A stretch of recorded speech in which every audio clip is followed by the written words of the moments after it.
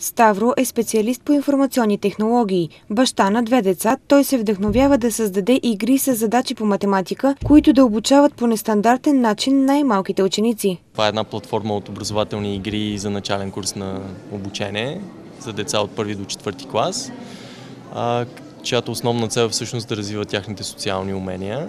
Около таблета се нареждат между 2 до 6 деца, като всяко дете има индивидуални задачи, които трябва да реши, но освен индивидуалните задачи има и колективни задачи, екипни задачи, които всички заедно трябва да, така да се каже, да се кооперират, за да решат. Приложението не е достъпно за свободно ползване, тъй като Ставро иска да го въведе в училищата.